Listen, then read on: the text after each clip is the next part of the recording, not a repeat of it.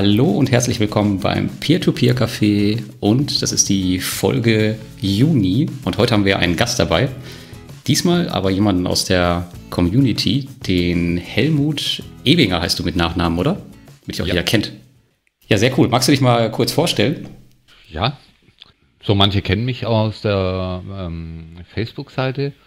Ich heiße Helmut Ebinger, bin schon ein paar Takte lang selbstständiger Gastronom und ja, seit zweieinhalb, drei Jahre auch in Peer-to-Peer -Peer investiert, sehr interessiert und ja, immer wieder mit Freude dabei.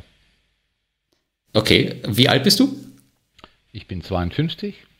Ich werde dieses Jahr noch 53. Und ja, zu Peer-to-Peer -Peer bin ich auch gekommen aufgrund von, ach, wie ist die allgemeine Situation, was wird es mal an Rente geben, was gibt es noch bei den Banken an, an äh, Möglichkeiten oder ehemalig Lebensversicherung, dass die Zinsen einfach in den Keller gegangen äh, sind. Deshalb war ich auf der Suche nach Alternativen und habe sie mhm. auch in Peer-to-Peer-Krediten gefunden. Okay, dann hast du gegoogelt und, äh, und bist auf, auf Peer-to-Peer gekommen, ja? Unter anderem, aber auch über viele Umwege. Okay. Hast du noch andere Investments? Oder ist das dein, dein äh, dein Steckenpferd sozusagen? Ich möchte mal behaupten, eigentlich ist es so das netteste Hobby. Es kommen noch Aktien dazu, ähm, die eigene Immobilie, die bezahlte ist auch da. Ähm, also es geht einem nicht schlecht, sagen wir es mal so. Okay, ja. Das hört sich doch mal ganz gut an. Okay. Ähm, ja, wir werden jetzt mal die News durchgehen, die wir so in den, im letzten Monat hatten. Äh, Thomas, magst du anfangen? Ja, hallo zusammen. Ja, Helmut, auch von mir, hallo. Ähm, dich kenne ich als ganz frühen äh, Facebook-Veteran. Du warst, glaube ich, einer der ersten, der mir persönlich auch geschrieben hat auf Facebook. Das fand ich damals ähm, sehr positiv und erfrischend. Mich da gleich gut aufgehoben gefühlt. Klar, ich kann in die News einsteigen. Ich habe äh, heute mal was aus der mathematischen Ecke, aus der Mathematik-Ecke mitgebracht, die Benford-Verteilung. Ich weiß nicht, sagt das euch etwas oder habt ihr da schon mal was vorher davon gehört? Oh nee, ja, habe ich noch nie gehört. Finanzamt ist es auch gern gesehen. Wirklich? Ich bin, bin ja, überrascht. Als Gastronom ist man ja immer äh, Generalverdächtiger für Steuerhinterziehung. Und ah, cool. vor vielen Jahren auch einer meiner Steuerberater damals hat mir gesagt, wie sich das Finanzamt solche Sachen auch zusammenschustert, dass der eine eben ja seine Einnahmen wegtürkt oder andersrum dreht oder auch nicht. Wer macht denn sowas? Ja, das, äh, genau dafür ist es nämlich, äh, kommt das nämlich auch her aus der Statistikecke. Also es geht um die Verteilung der Häufigkeit von Zahlenvorkommen in großen Zahlenwüsten oder Zahlenmengen eben die Einzelbelege beim Gastronomen oder sowas oder halt auch ein Vorkommen von irgendwelchen Mengen oder Volumenangaben. Und das äh, denkt man ja, das müsste eigentlich gleichmäßig verteilt sein, aber das ist es nicht. Also sowas wie Einwohnerzahlen oder Geldbeträge in der Buchhaltung das ist alles nicht wirklich gleich verteilt. Ähm, die Verteilung ist eher so, dass je niedriger der zahlenmäßige Wert einer Ziffer ist, desto höher oder desto wahrscheinlicher ist ihr Auftreten.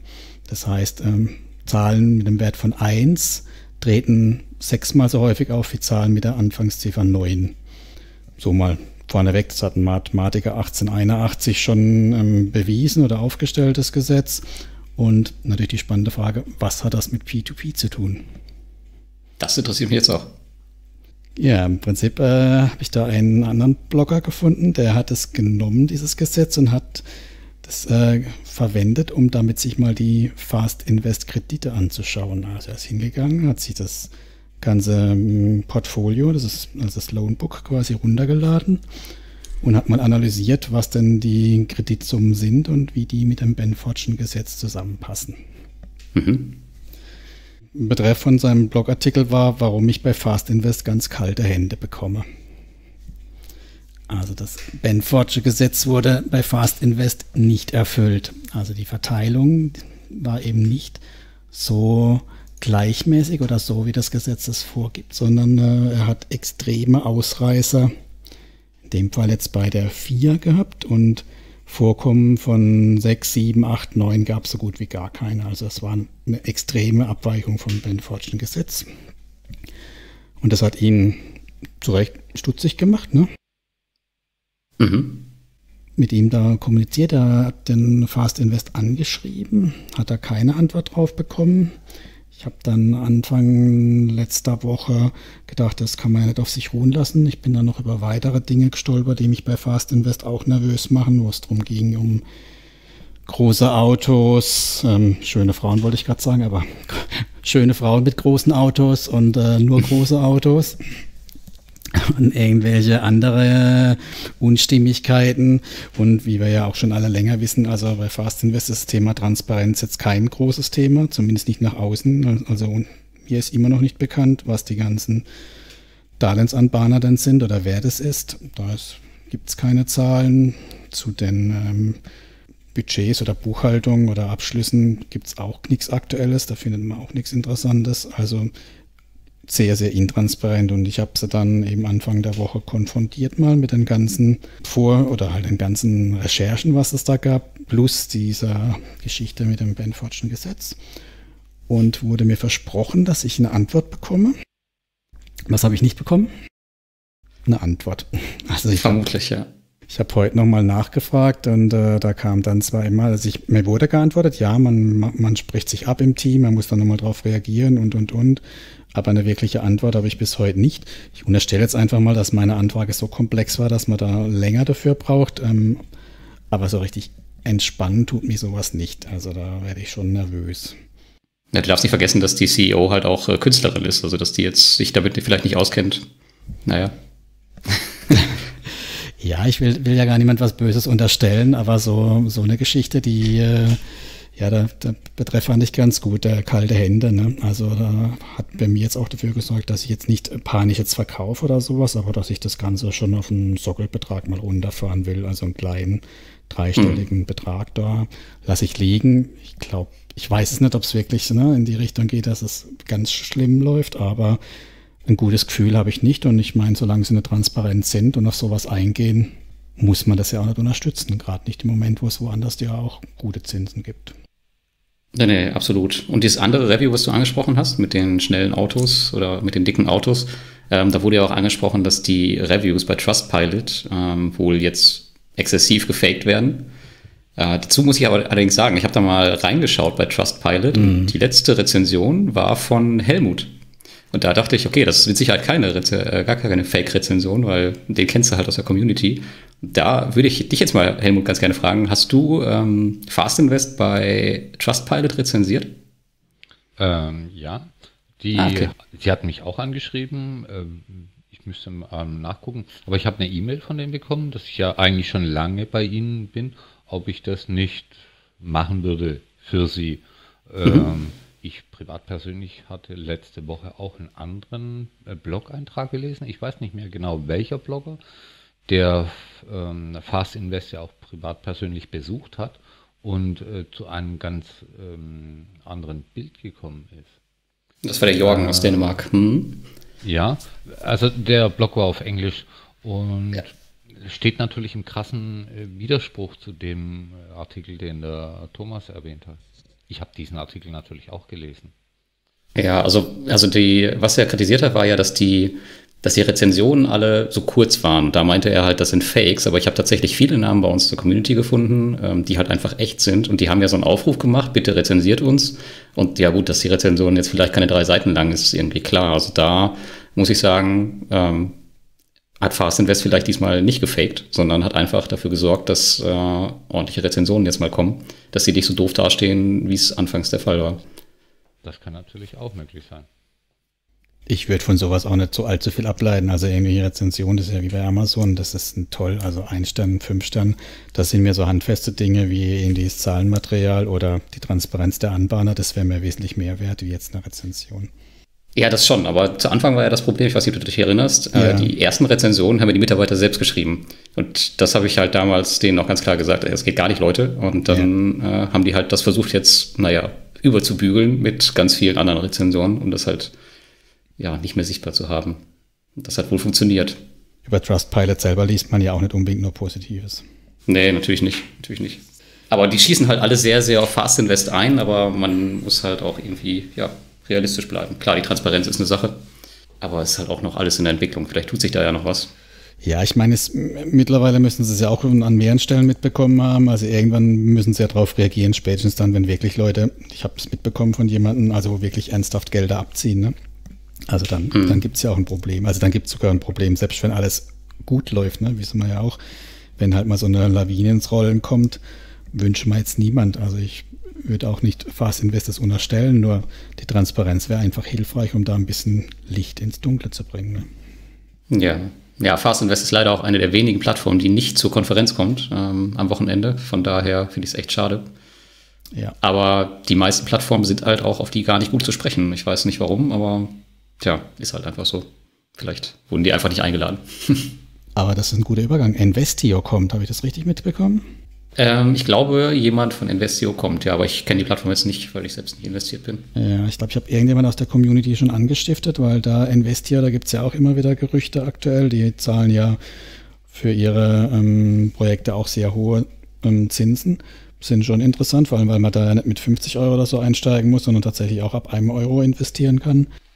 Und da ging halt auch so ein bisschen das Gerücht um, dass, der, ähm, dass die Plattform nur aus zwei oder einem Mitarbeiter besteht und die Steuernummer nicht mehr gültig ist und irgendwie die keine großen Kredite mehr bekommen. Da gibt es auch Analysen, dass halt viele Kredite eigentlich immer vom gleichen Kreditnehmer, also Kredit, ja, Kreditnehmer sind. Alles nicht so bedenklich, aber so ein bisschen Transparenz und wie es da aussieht, wäre, glaube ich, an der Stelle auch angebracht. Da bin ich mal gespannt, ob man was hört aus dem, dem Umfeld dann. Mhm. Ja, wenn ich sie erkenne, dann ähm, werde ich mit Sicherheit mit ihnen sprechen. Aber da sind so viele Leute, ich vermute, da werden andere den Vorrang bekommen. Ja, ich glaube, den P2P-Hero habe ich drauf angesetzt oder irgendjemand, ich weiß nicht mehr genau. Es gibt ja schon so ein paar illust illustre Persönlichkeiten in dem. Umfeld. Ach, der Peer-to-Peer-Hero kommt? Ich das, weiß das es nicht. Ob nicht. Kann sein, dass ich mit ihm, also mit, ich hatte mit ein, zwei Kontakt und irgendeinen habe ich da mal gefragt, ob er dort, dort das klärt, weil das fände ich spannend. Ob ja. es die gibt oder nicht. Ja, ich hoffe, die tragen alle T-Shirts, dass man die auch erkennt. Ja, ich glaube, der will ja gar nicht erkannt werden, ne? Da ist ja, ja genau. Sehr spannend, genau.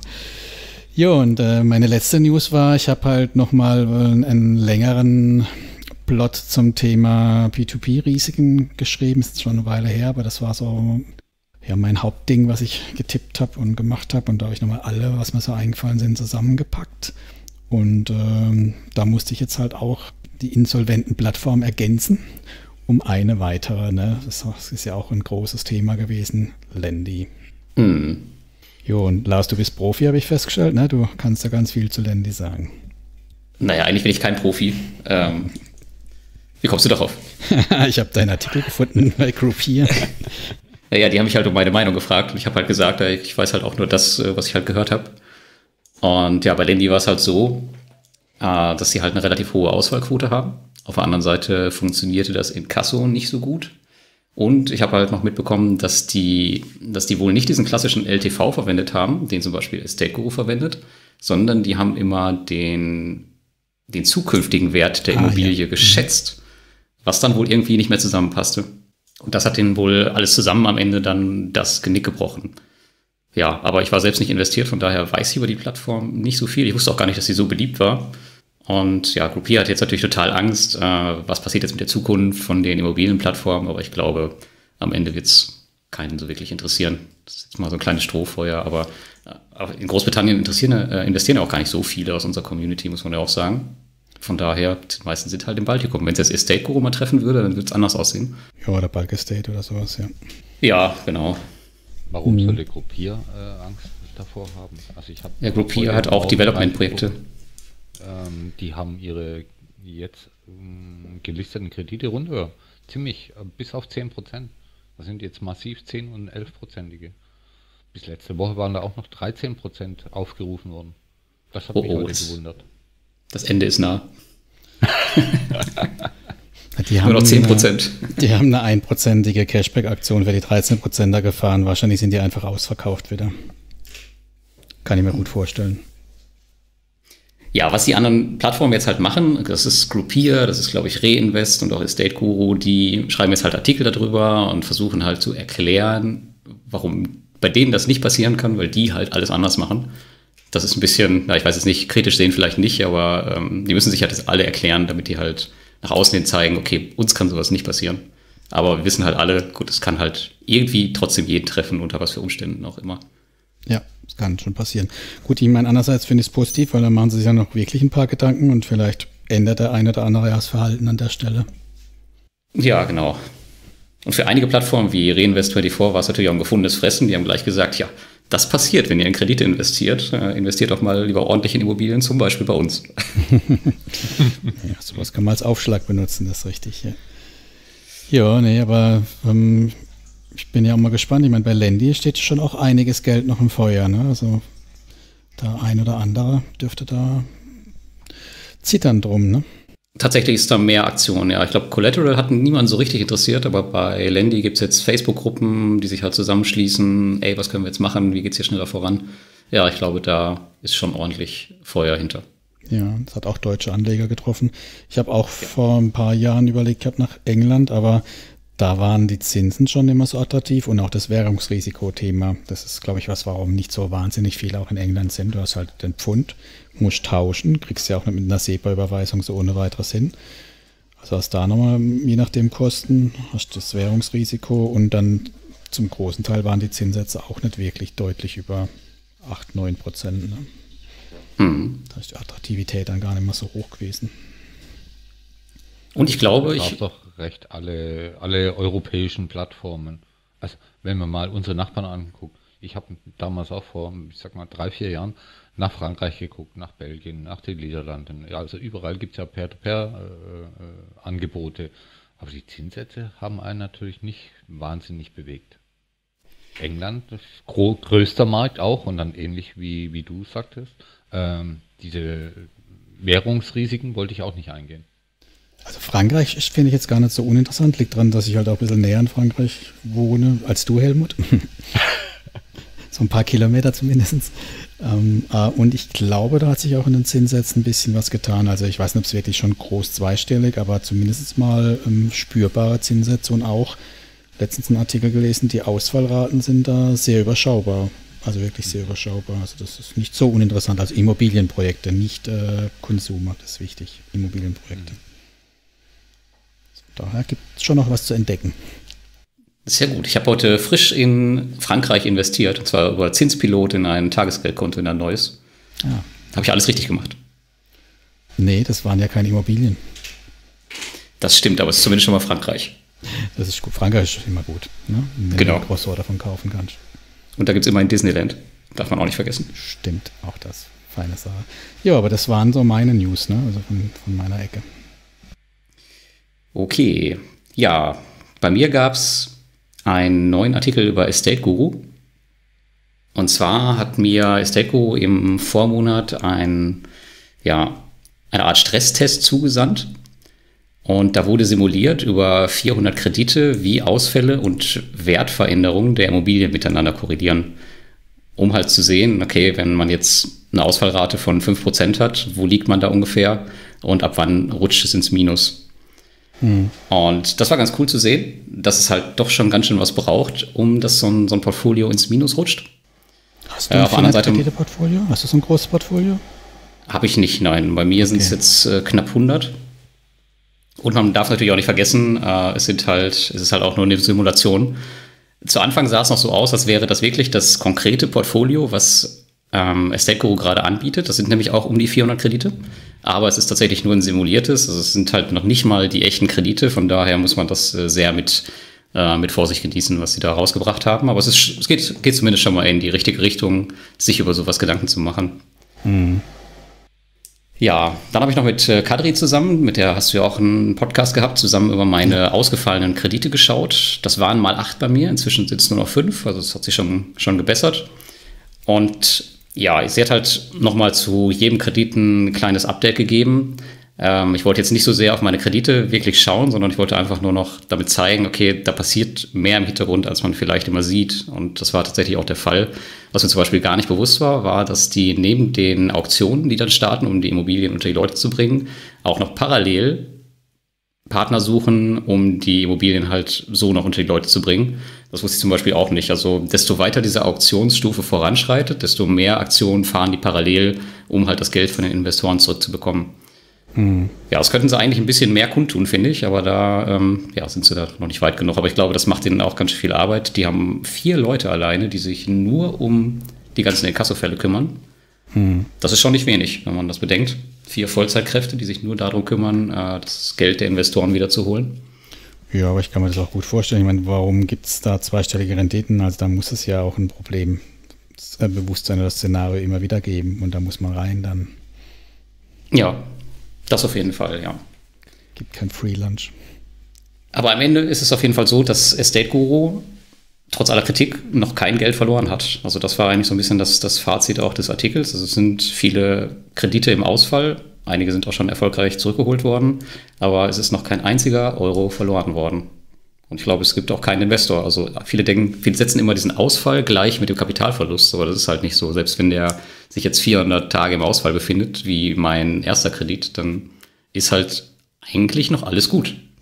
Halt ja, du kriegst natürlich keine Zinsen, wenn es dumm läuft für die Zeit, aber du hast zumindest mal nicht dein, dein Eingangskapital verloren. Das finde ich eigentlich auch, also das finde ich völlig okay. Ne? genau, du, dein Zins. Du kriegst zwar keine Zinsen, allerdings kriegst du ja teilweise die Strafzahlung zurück wenn der Kredit dann doch eingetreten wird. Ist halt die Frage, was man da noch holen kann am Schluss dann. Aber ich wäre auch zufrieden, wenn man nur 90 oder so Prozent wieder kriegt oder 100 Prozent, weil ähm, eigentlich muss man es mental auch schon mal abschreiben, solche Sachen. Ne? Ja, ja, das stimmt. Ja, ansonsten hatte ich noch ein paar ähm, interessante Kommentare, sage ich mal, bei YouTube. Da gab es jemanden, der fand das total unattraktiv und hatte 25% Ausfälle. Ich habe irgendwas um die 2 bis 3 Prozent. Er hatte allerdings nur acht Kredite und meinte dann, ja, ähm, man bräuchte gar nicht so viele Kredite anlegen, um halt ähm, zu sehen, ob eine Plattform gut oder schlecht ist. Aber bei acht Krediten ist halt, ja, das ist halt keine Diversifikation. Ja, kennst, kenn, kennst du meinen Artikel zu dem Thema. Also unter 50 ist gar nichts bei Estate Guru. Ich würde sogar sagen, unter 100. Äh, ja, sag mal, so genau. Ja, also, das ist mal gut. Ich meine, wahrscheinlich habe ich mir die 50 nur selber auferlegt, damit ich äh, mich überhaupt traue zu investieren, weil das ist halt bei 100 bin ich halt bei 5000 Euro, ne? Richtig, ganz genau. Ja, das Argument kam dann von ihm auch. Er meinte dann auch, ja, von wegen, ich habe aber nicht so viel Geld, um in so viele Kredite zu investieren. Ja gut, aber dann muss man sich vielleicht überlegen, ob so eine Plattform dann wirklich Sinn macht oder ob man nicht dann vielleicht äh, eine andere Plattform besparen sollte, wo man mit 10 Euro anfangen kann und dann halt auch eine ordentliche Streuung aufbauen kann. Dann muss man vielleicht nicht unbedingt Estate Guru nehmen. Ja, es empfiehlt sich Gut. nicht, weil das, ähm, das ist ja auch unbefriedigend, wenn ich dann halt acht Stück habe, selbst wenn die irgendwann eingetrieben werden. Es fühlt sich halt auch einfach nicht gut an, wenn die, die, die Hälfte davon im Feuer steht oder so, ne? Nee, nee, absolut nicht. Und dann ja. tut so eine Ausfallrate natürlich richtig weh, wenn dann wirklich die Ausfälle sich auch realisieren am Ende. Ja, ich meine, an Estate Guru arbeiten sich ja immer gern viele ab. Ich meine, es ist halt auch eine der wenigen echten P2P-Plattformen noch, als es auch Ausfälle gibt. Ja. Sie sind äh, mittlerweile deutlich transparenter. Das waren sie früher, fand ich schon, da gab es schon Defizite und man, dieses Thema Refinanzierung ähm, ist ja auch sowas, was immer wieder kommt. Ich habe ja nochmal so ein Frage-Antwort-Spiel mit der Katri gemacht und veröffentlicht. Da war das auch nochmal ein Punkt. Das Thema eine Bugwelle wird vor sich hergetragen. Die ist gar nicht so groß. Wenn man wohl genauer hinschaut, dann sind das so gut, gute 10 Prozent, ähm, die halt refinanziert werden. Ich meine, fühlt sich auch komisch an, wenn ich da sechste Refinanzierung habe von einem Kredit, da, wo ich dann halt auch denke, mhm. ja, kann er irgendwann wirklich bezahlen oder wie lange geht das Spiel, ne? Aber ähm, ich denke im Baugeschäft, also ich habe ja mit Exporo gesprochen, der hat auch gesagt, also in den Baugeschäften, da ist es halt schon so, dass dann eventuell halt dann doch nochmal Nachschlag notwendig ist. Das heißt noch lange, dass das Projekt in Schieflage gerät. Mhm. Ja. Ja, Gut, da gab es noch einen anderen Kommentar, ähm, gerade heute frisch reingekommen, den wollte ich gerade noch eingehen. Ähm, mhm. Auf den habe ich eigentlich schon die ganze Zeit gewartet. Und zwar fragte da jemand, äh, warum ich bei einem meiner Ausfälle nicht weiter in die Tiefe gegangen bin und nachgefragt habe. Da gab es wohl ein fehlerhaftes Gutachten. Und ähm, ja, bei dem Artikel ging es nicht darum, jetzt die Ausfälle in der Tiefe anzuschauen, sondern einfach nur zu zeigen, dass Estate Guru halt was im Hintergrund macht. Und mhm. da muss ich sagen, ich habe jetzt keine Zeit, äh, bei meinen, keine Ahnung, wie viel tausenden Krediten mir jeden Kredit einzeln anzuschauen und äh, zu gucken, ob da alles der Richtigkeit entspricht. Ich glaube, wenn man so investiert ist, dann muss man halt auch einfach den Plattformen ab einem gewissen Zeitpunkt vertrauen und sagen, das ist euer Job, ihr werdet das schon machen. Und wenn nicht, gut, dann ist es halt mein Risiko am Ende gewesen. Aber ich schaue mir jetzt nicht jeden Kredit in der Tiefe an und frage da äh, die mega detaillierten Fragen nach. Dafür äh, habe ich weder Zeit noch Lust. Ja, und ich meine, was, was steht bei dir? Du hast wahrscheinlich auch 50 Euro im Feuer quasi an der Stelle stehen, oder? Oder hast du höhere Investitionen pro Kredit? Äh, ich habe teilweise, glaube ich, jetzt irgendwann auf 100 umgestellt, weil Okay. ich das Portfolio halt auch weiter irgendwann aufbauen möchte. Okay. Ähm, ja, aber so um den Dreh. Zwischen 50 und 100, das ist jetzt kein Weltuntergang. Also nichts, was nicht schon lange durch die Zinsen wieder drin wäre. Genau, also dann ist es so schon eher der Punkt, wenn ich, was ich, bei Zinsland, wo jetzt gerade so ein Haufen ausgefallen sind, wenn ich da halt 1000 Euro dann im Feuer stehen habe, dann ist es halt schon nochmal, also für mich wäre das schon nochmal was anderes, ne? Wie wenn ich sage 50 Euro, es tut mir zwar auch weh, dann kann ich einmal nicht essen gehen oder so, aber es ist jetzt nicht so, was mich jetzt total von den Socken haut, ne? Nee, aber bei, bei Zinsland kann ja nichts passieren. Ich meine, das sind gute deutsche Immobilien. Was soll da passieren? Das, das sind, äh, genau, das sind die perfekten Nachrangdarlehen mit äh, kompletter Rangabgabe, also nichts mehr gibt's da.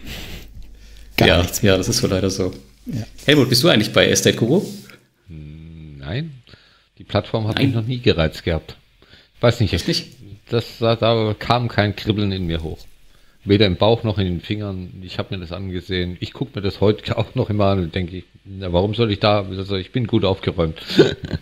Okay, entscheid, entscheidest du das mit dem Kribbeln dann immer nach den, nach den Frauen auf der Über uns Seite oder wie läuft das bei dir? ja, ich spreche mich da mit dem Thomas ab, okay. wie Dann er die ja Frauen gut. beurteilt. Dann war es ja gut, dass wir bei Fast Invest alle das schöne Bild genommen haben, ne? genau. Deswegen ist auch jeder investiert, ja. Wahrscheinlich, ja. Mann, Mann, Mann. Nee, das heißt, dir waren die Zinsen nicht hoch genug oder was? Äh, Nein, ich hatte, ich weiß gar nicht, wann ich die angesehen habe. Also ich habe ja auch irgendwann mal begonnen und ähm, da hatte ich schon jede Menge Plattformen in meinem Portfolio, wo ich dachte, da kriege ich mehr Zinsen mit weniger Einsatz. Also wir hatten doch, glaube ich, gestern Morgen, habe ich es kurz gesehen, da war doch so ein Spezialist auf der ähm, Facebook-Seite, der geschrieben hat, er ist ein Jahr lang bei, was, im Iobo oder so, äh, mit 100 Euro gewesen und hatte kaum Rendite, der arme Kerle, und äh, hat ja da was ganz anderes unterbringen wollen. Also, ja, mit 100 Euro auf einer Plattform ist das vielleicht nicht ganz so spannend. Da muss man dann schon ein bisschen mehr machen ist meine persönliche Meinung. Also ich habe begonnen auch mit drei Plattformen, nachdem ich gesehen habe, dass es äh, irgendetwas erbringt. Da waren drei Monate später die nächsten zwei gekommen und die nächsten zwei wieder drei Monate später und so weiter und so fort. Ja, und irgendwo ging dann die Guten unter, wo ich gedacht habe, äh, nein, ich habe mehr Zinsen da mit weniger Einsatz. Ich habe mich aber schon breit gestreut. Da wollte ich dann nicht bei diesen mageren Zinsen auch noch äh, rein investieren.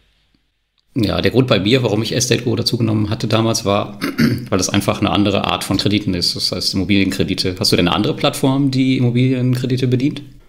Äh, Oder sind die gar kein Thema bei dir? Doch, äh, ich hab, ich bin auch bei ähm, Crowdestor angekommen, äh, Crowd Invest. Ähm, das reicht mir eigentlich. Crowd Estate meinst du, ne? Ah, Crowd Estate, ja, und Crowd Ja, okay, Investor, so rum. Ja, Okay. was, was ist sonst noch? Ja, in, Investio ist ja dann auch noch eine andere Art dazugekommen, wo man in sowohl als auch investiert. Hm. Ja, okay. Ja, vielleicht da noch, weil es gerade zum Thema passt. Ähm, es gab noch die kleine News, dass äh, Bulky State die drei, gleich drei Projekte zurückgezahlt bekommen hat letzte Woche. Und das hat sich auch deutlich in meinem Rendite-Ranking zum Beispiel jetzt ähm, ausgewirkt. Und Bulky State ist eine Plattform, die bisher noch keinerlei Ausfälle, Verspätungen etc. hat. Also die scheinen einen echt guten Job zu machen. Ähm, ich habe sie ja schon jetzt oft auch selbst getroffen und ähm, die betonen halt auch immer, dass sie sehr, sehr gründlich bei ihren Analysen sind und deswegen, das, das sei angeblich auch der Grund, warum sie nicht so viele Projekte auf der Plattform hätten. Vielleicht wäre das dann nochmal ähm, eine Plattform oder eine Alternative für alle, die keinen Bock haben auf Estate Guru, warum auch immer. Auch für dich, Helmut. Ja, die habe ich ja noch auf der Watchlist. Also angemeldet bin ich dort auch schon lange, aber ja, es hat mich bisher noch nichts getrieben, dort mal Ja. Geld hinzuschicken. Da kommt halt auch nicht so arg viel Projekte rum, da muss man auch schnell sein bei denen. Aber ich finde die auch attraktiv, weil die haben, dadurch, dass sie halt klein sind, müssen sie auch noch ein bisschen an den Zinsen was drauflegen im Vergleich zu Estate Guru. Also da Über die Rendite kannst du da zumindest nicht meckern, weil das ist ein bisschen mehr. Ich glaube, so 13, 14, 15 Prozent kannst du da schon noch kriegen. Ne? Und für immobilienbesicherte Sachen finde ich das schon ziemlich spannend.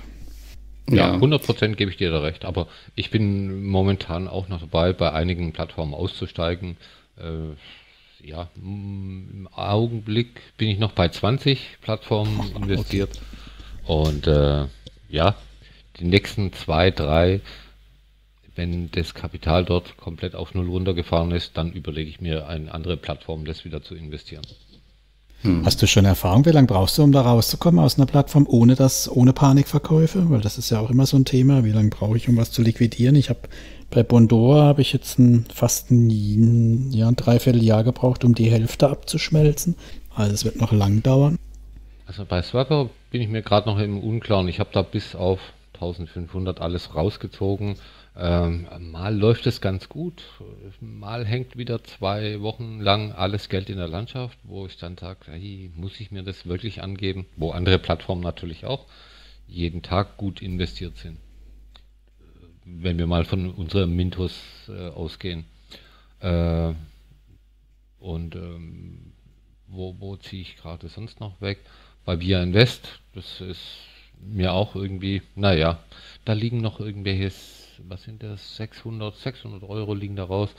Ähm, da läuft dieser Prozess, ich sage jetzt schon mal drei Monate, wo ich immer alles Geld rausziehe. Ich warte halt, bis ein paar hundert Euro mal zusammengekommen sind und dann hm. mal eine Überweisung. Äh, unter Schmerzen habe ich noch nichts rausgetan. Allerdings, wie du sagst, bei Bondora, ja gut, da habe ich auch mal einen ganzen Schlag wegverkauft. Dann haben die mir damals ein Angebot gemacht. Das war dann 100 Euro weniger, wie ich eigentlich drin gehabt hätte. Und denke ich auch, ach, bevor ich mich weiter ärgere und lange ärgere, mach weg damit. Ja, das ist gar nicht so meine Devise. Ich lasse das immer gerne, solche Sachen. Das sind bei meinen Aktien, die ich damals vor vielen Jahren gekauft habe. Schandflecke bleiben drinstehen als Mahnmal für die Zukunft. Als Mahnmal, ja. Dinge, die nichts mehr wert sind, die lasse ich schön drinstehen. Also ich habe so Philipp Holzmann, mein Favorit, wenige Cent wert, damals ein paar tausend Mark. Opa erzählt vom Krieg. Da zum Thema vielleicht noch, ähm, der Alex Fischer von dem Blog Reich mit Plan, der hat, äh, der ist zwar überwiegend auf Dividenden spezialisiert, der parkt aber sein, sein ziemlich große, seine ziemlich großen Cash-Position in Peer-to-Peer-Krediten. Und der hat, glaube ich, die Plattform Mintos, Twino und ich glaube Pandora verglichen, wie schnell das Cash wieder zurückkommt. Und zumindest beim Mintos war das äh, bei seiner ziemlich großen Position echt richtig, richtig schnell wieder da. Und zwar auch in einem Prozentsatz von, weiß ich nicht, 80 äh, Prozent oder so. Ähm, das ist ganz interessant zu lesen. Vielleicht packen wir den Artikel mal in die Show Notes. Ja, ich meine, Mintos hat, hast halt den Punkt, dass sie viele Rückkäufe machen und der Zweitmarkt ist dermaßen liquide. Also selbst wenn du sagst, du verzichtest auf ein kleines bisschen Rendite und machst mit Abschlag, da hast du es innerhalb von Stunden verkauft, das Zeug. Ne? tatsächlich, ich bin sogar meine 9% äh, Mogo-Kredite, die ich noch drin hatte, äh, irgendwie jetzt mal losgeworden. Über den Zweitmarkt, also irgendwie hat sie gekauft. Ja, also auch ohne Abschlag werden so Sachen verkauft. Sogar. Genau. Also dann dauert es genau, halt länger, ne? aber ja, habe ich auch. Also ich habe auch ganz viel Geringzinser losgeworden, damit ich mir halt jetzt die gerade aktuellen Hochzinser nehmen kann und manches hat sich dann verkauft, manches halt auch weniger, aber durch das, dass es halt ständig Rückkäufe gibt, ähm, ist eigentlich immer Geld liquide. Ne? Ja, Helmut, was interessiert dich eigentlich so an der Peer-to-Peer-Welt? Ich meine, du hast jetzt ähm, erzählt, du bist auf fast 20 Plattformen investiert. Das macht ja wahrscheinlich auch schon ein bisschen Arbeit im Gegensatz zu deinen anderen Investments. Du hast ja wahrscheinlich auch sehr viel zu tun mit deiner Selbstständigkeit. Also was, äh, ja, was macht dich daran so heiß, außer die Frauen? Nicht die Frauen sind es. Der Cappuccino, den man mit manchen Gesprächspartnern dabei mit den hübschen Frauen verbringen könnte. Aber mal Spaß beiseite ist einfach, wie, wie viele andere vielleicht das Aktienfieber gepackt hat oder so. Ist doch schön zu sehen, dass da jeden Tag was um die Ecke kommt. Also es ist so eine Morgenroutine irgendwann geworden. Ähm, oder Abendroutine, wie sagt man es? Wenn ich in meinem mhm. Geschäft meinen Feierabend mache, ähm, meine ähm, Buchhaltung noch erledige, mein Kassenbuch mache, dann gucke ich auch automatisch, was hat sich heute ereignet. Und bevor wir dieses Gespräch angefangen haben, hatte ich auch noch einige Nachträge zu führen, was äh, Gruppe heute noch gekommen ist, Investio. Und, und dann gucke ich mir diese Tagessumme an und denke mir, oh, alles klasse. Ist doch ein schönes Geld. Für dieses Geld habe ich nicht hart arbeiten müssen, sondern es kam nebenher so rein. Ja, ist ein schönes Gefühl, das stimmt. Ja. Und es ist nicht so anstrengend und es ist mit für jeden mit kleinen Mitteln auch schon zu realisieren.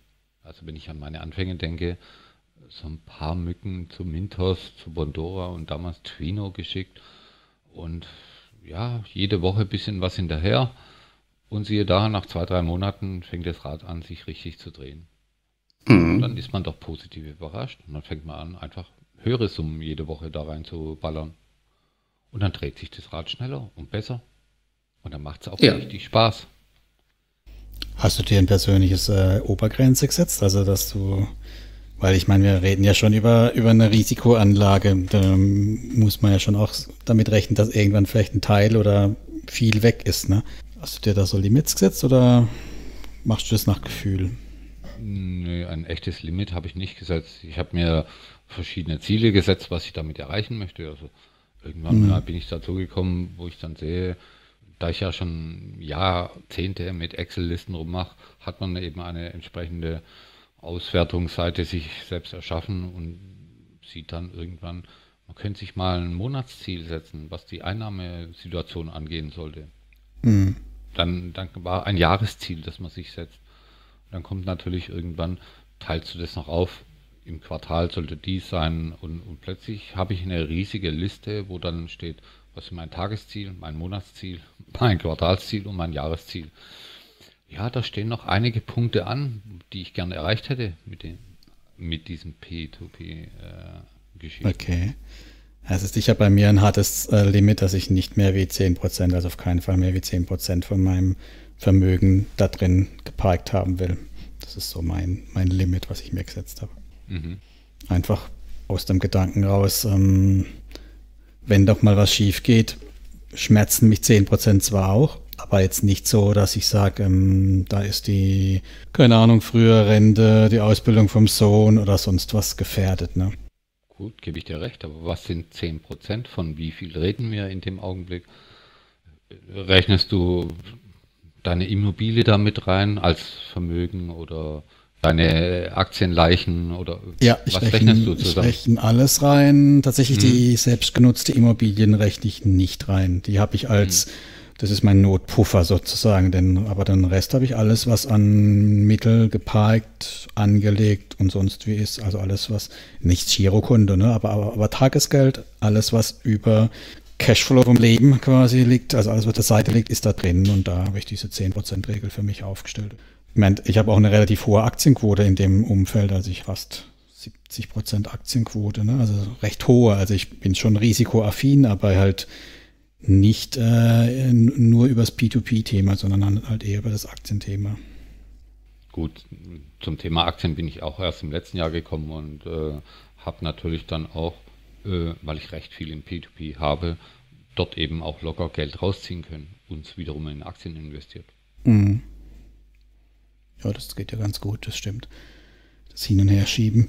Ich habe da äh, immer nur ein bisschen Bauchschmerzen, wie ich das dann mit der Steuer nächstes Jahr hinkriege, weil ich habe bisher immer nur aufgebaut, da war das recht einfach, aber mit rausziehen, rein, raus, das habe ich noch ein bisschen Bauchweh, aber das ist ein anderes Thema. Ich glaube, das vertiefen wir heute lieber, nicht das Steuerthema.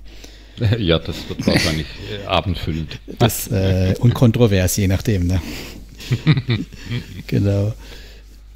Ja, also wenn du Probleme hast mit dem Rein und Raus, dann, ähm, oh, das hört sich jetzt ziemlich blöd an, oder?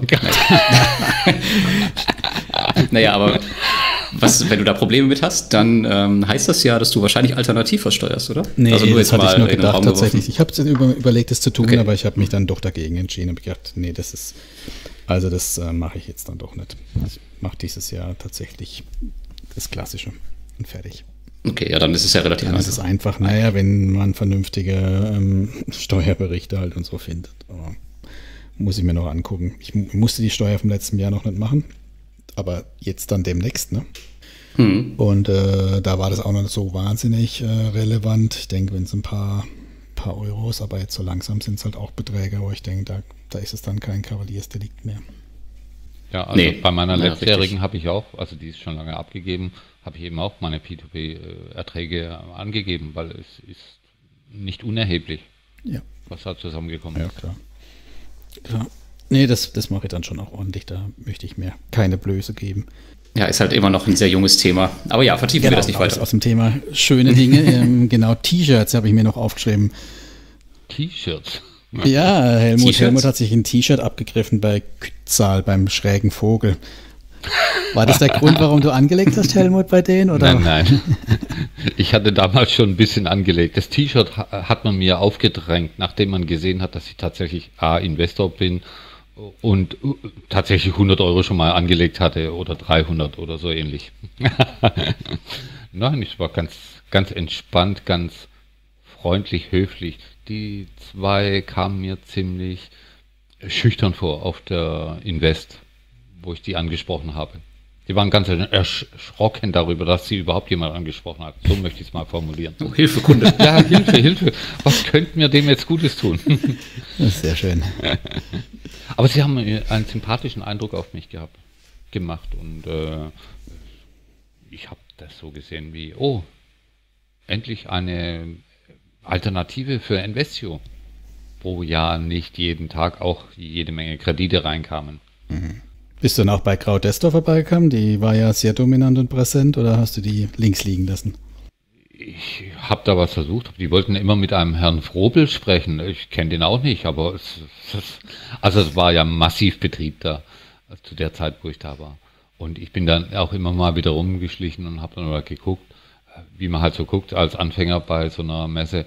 Und ähm, dann fand ich, ich muss mich da nicht noch auch aufdrängen. Okay. Also ich finde es auch schon unverschämt. Ja, das hat wohl alles richtig gemacht. Alles ran an den Stand und alles abgreifen, was cool ist und, und Tassen und ja. Infomaterial. Und dann, mein Gott, um, um was. Also wo ich morgens um, um ich glaube um 10 an die Messe rankam, da sind mir schon Leute entgegengekommen. Senioren mit Taschen voll, denke ja. ich, mein Gott, äh, ihr macht die Messe gleich wieder zu oder warum gehen die schon wieder raus? Also die hatten wahrscheinlich ihr Ziel schon erfüllt, alles abzugreifen, was irgendwie umsonst ist. Ja, das ist so ein, so ein Volkssport. Aber das ist weniger geworden, finde ich. Das war die Jahre davor viel, viel schlimmer.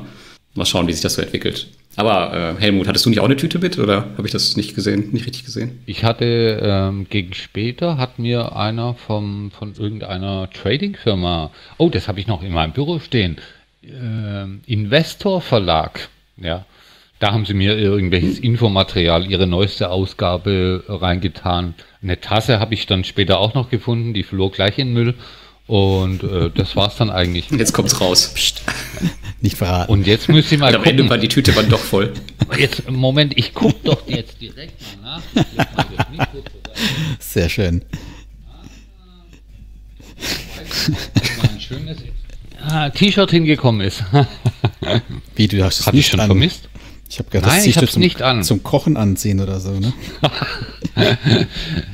ich bin immer im Hemd unterwegs, auch beim Kochen. Ehrlich? Meine Gäste wundern sich immer, wie schafft es ein normaler Koch, im Hemd am Herd zu stehen und sich nicht von oben bis unten einzukleckern.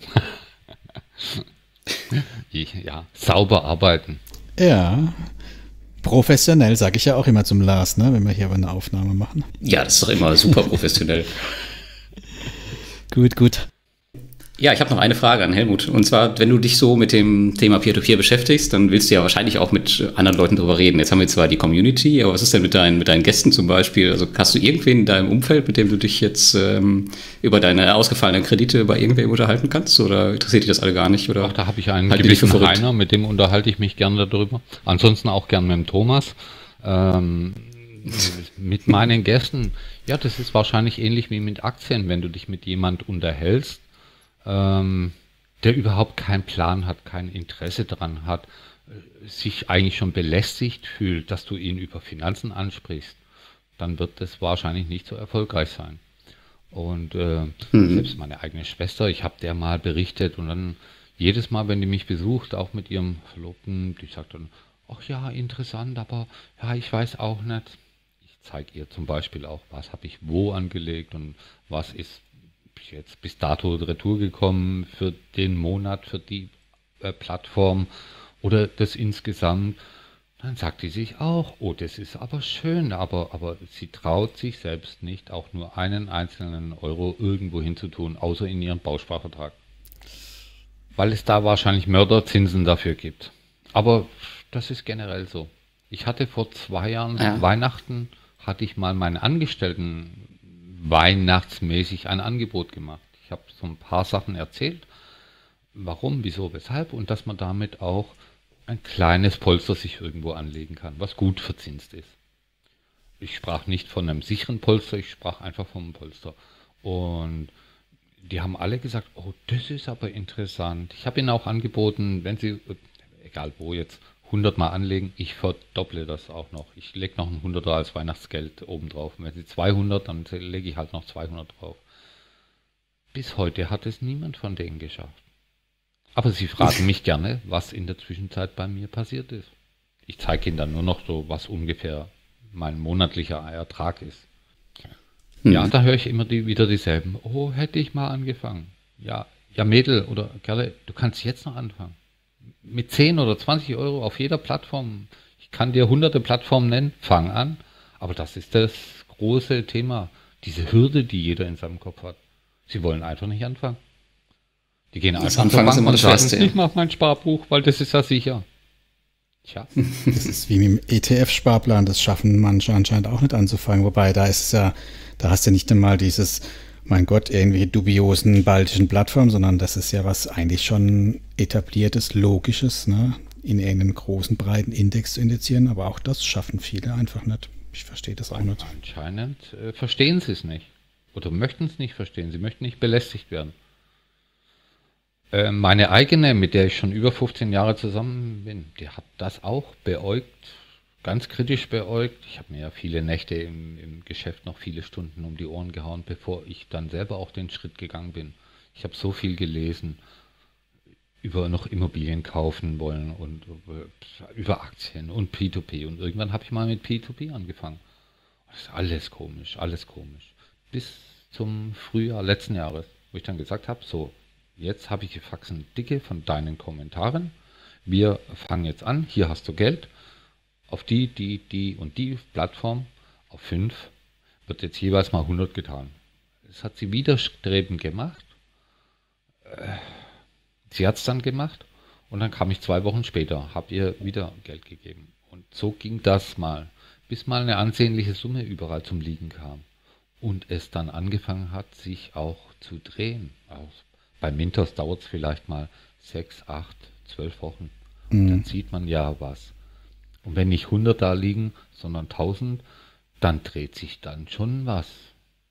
Und mhm. die, die es nie geschafft hat, auch nur 50 Euro mal aufs Sparbuch zu tun, die ist heute mit dem Anspruch da, jeden Monat mindestens auf jede Plattform, in der Zwischenzeit sind es bei ihr sechs Plattformen, 100 Euro irgendwo hinzukriegen.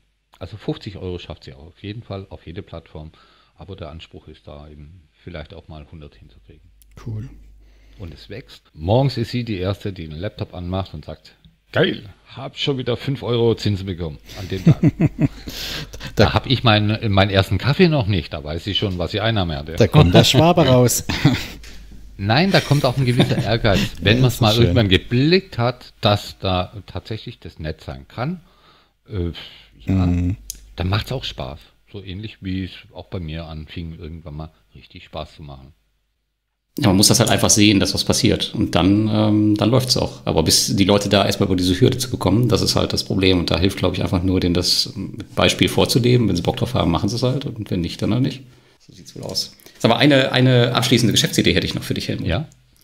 Ähm, und zwar, wir sind ja die Nation der kleinen Zahlen, wie du ja gerade schon äh, selbst gesagt hast ein bisschen. Und warum schreibst du nicht auf deine Bierdeckel zum Beispiel einfach deinen Referral-Code von irgendeiner Plattform drauf mit einem 5-Euro-Gutschein? Cool. Und so kannst du noch ein kleines äh, Nebeneinkommen verdienen. Das ist gar kein schlechter Gedankengang. Äh, die Frage stelle ich. Weil sobald die Leute was kostenlos bekommen, dann, dann läuft das. die Frage stelle ich mir aber jetzt gerade bei Bondora, wenn mancher schon auch in der Community geschrieben hat, dass er seltsamerweise sein, sein geworbenes Geld zurückzahlen muss, äh, weil der Kumpel oder die Mutter nach einem Monat das Geld wieder abgezogen haben. Da frage ich mich auch, ob so mancher das wirklich äh, versteht, was er da eigentlich macht. Ich glaube schon, dass die es verstehen. Das ist eher betrügerisch, was da passiert. Und dann, nein, ich so meine meine Gäste in dem Ach, Deine Gäste, ja, die nehmen Und dann wird es genauso sein. Nach einem Monat fragen die sich, wenn sie aus dem Delirium mal wieder wach geworden sind, hä, was habe ich jetzt 100 Euro Pandora? Was ist Pandora? Ich will mein Geld wieder. und plötzlich steht Pandora bei mir vor der Tür und sagt, hey, Geld wieder zurück. Das ist dann auch nicht schön. okay, dann krieg. Ja, die gucken da sehr genau hin, das stimmt. Ja. Ich schicke dir meinen Referral-Code, Helmut. Ich krieg das hin mit Pandora. Ah, bist, bist, du noch zu werben? nee, ich sagte, ich schicke dir meinen, dass du den draufdrücken Ach so, kannst. Da, da, muss ich was falsch verstanden haben. ja, sehr schön. Aber das wäre mal tatsächlich interessant zu wissen, was Bondora dann macht, weil ähm, bei Helmut kommen die jetzt wahrscheinlich alle irgendwie aus dem gleichen Umkreis und jetzt nicht irgendwie deutschlandweit oder europaweit, was, was Bondora dann macht, ob die dann sagen, nee, das geht überhaupt gar nicht oder ob die sagen, ja, das ist cool, Offline-Werbung. Solange sie das nicht zurückziehen wirklich, also solange man kein, kein äh, Durchschieben-Gefühl hat, ne? Also ich glaube, bei den mhm. anderen ist eher so die, der eine hebt, äh, hebt ab, der nächste zahlt ein, hebt ab, zahlt ein, also Ne? Ja, am Ende des Monats schickt mir Pandora eine Rechnung, hier hast du 5 Euro bekommen und dann bringst du bitte wieder auch wieder 5 Euro. So oder ähnlich kann ich mir das vorstellen. Ach. Aber nee, es ist ähnlich, wenn ich versuche auch mit, mit, ich sage mal, älteren Leuten, also die wesentlich älter sind wie ich, einfach mal ein Gespräch anzufangen, weil äh, über Geld redet man ja eigentlich überhaupt nicht mit manchen, die man schon jahrelang kennt als Gäste. Da kann man sich schon eher auch unterhalten und die haben alle schon schlechte Erfahrungen mit Aktien gemacht und dann wollen sie schon gar nichts wissen. Peter, mhm. oh Hilfe. Also ja, also ich höre das Thema Telekom-Aktien, höre ich immer, immer wieder. ja. Also da müssen alle wohl gesagt haben, der Krug, der ist ein ganz toller Mensch. Wenn der das sagt, dann muss ich das machen. So mein, ist mein Eindruck. Klar, meine Eltern hatten auch welche. Echt? Ja, klar, natürlich. Haben sie heute noch Infini und, und Telekom. Dieser neumodische Kram. Dieser neumodische Kram. Gut. Ja, ich glaube, ich glaub, wir müssen tatsächlich äh, jetzt mal äh, aufhören. Ansonsten hört sich das keiner mehr an. Dann kommen wir doch mal zum Ende. Ja, Helmut, danke, dass du dabei warst. Das war richtig cool. Danke mich auch. Und ich hoffe, wir haben beim nächsten Mal wieder einen Gast aus der Community. Also wenn ihr Bock habt, dabei zu sein, dann meldet euch einfach bei Thomas bzw. Heiner, so heißt er bei uns in der Community, oder mir. Und wir haben auch eine Umfrage über die Themen. Die gibt es einmal bei mir auf der Podcast-Seite auf der Seite, aber wir posten sie auch nochmal in die Community. Und ja, da könnt ihr reinschreiben, über welche Themen wir uns unterhalten sollen. Ähm, wir müssen jetzt nicht immer die News nehmen, sondern wir können auch über viele andere Sachen sprechen. Also haut da mal einfach was rein. Ja, ansonsten Thomas, noch ein paar Worte von dir. Ich fand es heute sehr schön. Mir hat es Spaß gemacht, mit dem Helmut und dir zu plaudern, wie immer. Und ich bin natürlich auf die nächste Sendung gespannt. Da werden wir bestimmt den Schwerpunkt die Konferenz haben, die ja jetzt dann nächstes Wochenende losgeht, ne? Ähm, ja, inoffiziell eigentlich schon am Donnerstag mit dem Mintos-Event, aber dann am Freitag und Samstag. Ja. Geht's ab. Bin ich mal sehr gespannt drauf. Ich auch. Gut, dann haben wir es soweit. Dann euch einen schönen Abend und ja, bis zum nächsten Mal. Dankeschön. Ciao. Tschüss. Ciao.